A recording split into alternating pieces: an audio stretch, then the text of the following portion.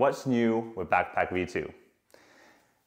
First thing was we had a lot of feedback that our rack compartment back here was too tight for three rackets. Three rackets did fit, but yes, admittedly it was tight. So we actually made this back compartment here deeper, allowing three rackets to fit a lot easier. Open up here, there's more space here for three rackets to easily go in and out.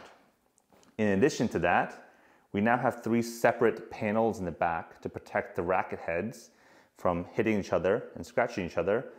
The next thing I want to show you is the cape.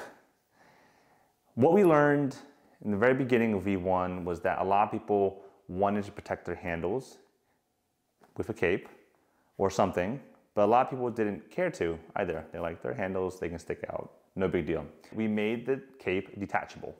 And the way it works is you have these clips here that attach into a loop, um, and you have four of them, and it's easy to take them in and out. So you have your rack in here, and the cape goes right on top, just like that, for secure protection, but also easy removal and installation. The next thing I want to talk about is the new toiletry pocket. This is probably my favorite new feature of V2. And this toiletry pocket allows you to keep all your kind of messy gear, sunscreen, lotion, makeup, things like that, nice and protected and easy to clean up in this new pocket. So it's lined with white poly film here that's easy to clean. Um, and you can stow it away nice and separate. I use this all the time. I bring a bunch of sunscreen for myself my family. Little kids go through a lot of sunscreen. The next thing I wanna show is a bit of a secret. It's the secret pocket.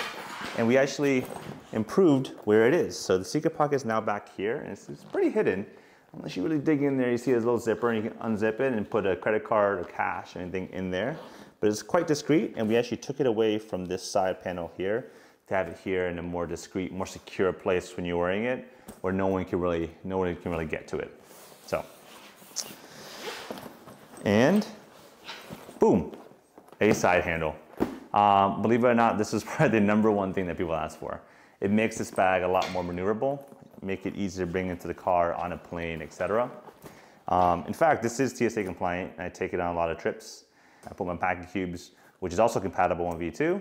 Also, instead of two hooks, we, uh, instead of one hook, sorry, we have two hooks. And these two hooks make it a lot easier for you to hang on a fence when you're out and about, or even hang in a hotel room if you're traveling. Um, we had one before, and a lot of people wanted more support and more uh, just stability, so we added an extra hook.